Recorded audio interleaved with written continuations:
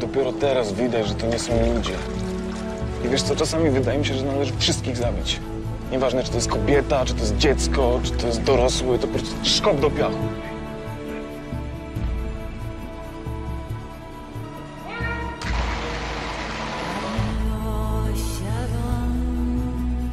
Postępować tak samo jak oni? A kto zaczął?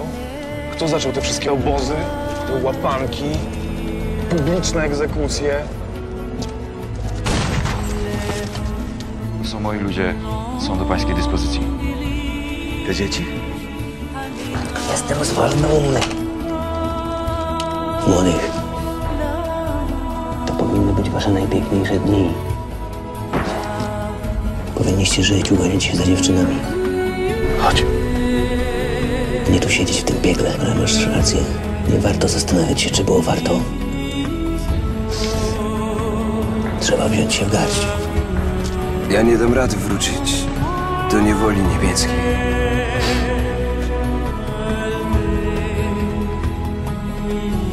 Przez te kilkadziesiąt dni ja znowu poczułem się wolny. Polska będzie wolna, póki żyją tacy jak ty, pamiętaj.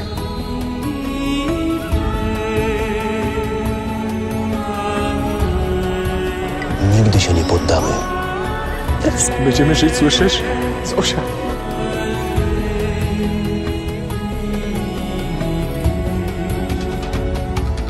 Jesteś bohaterem.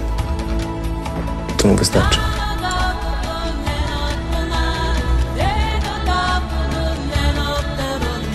I nie było nic widać prócz granatów blasku. I powoli dym mrzedniał, opadał deszcz piasku.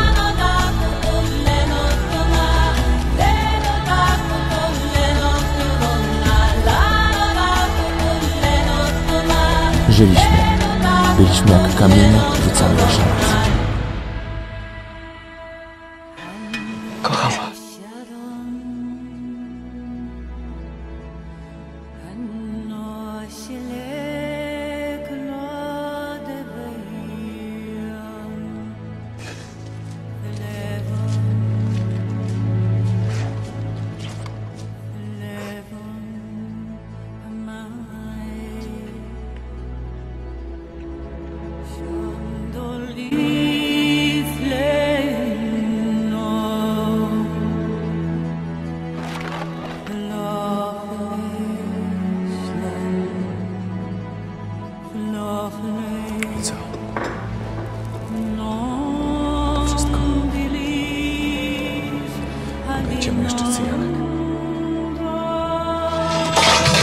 Polska się o mnie upomni.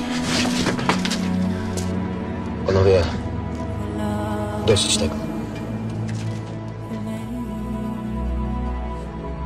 A ja wierzę, że kiedyś przyjdzie sprawiedliwość. I wiesz, i oni wtedy poniosą karę. Rozumiesz? Historia ich osądzi.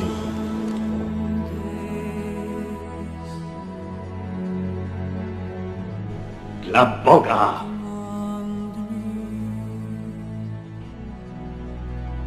Narum kraju! Wojna! A wiecie, że trwa wojna. Nieprzyjaciel w granicach. A ty się nie zgrywasz.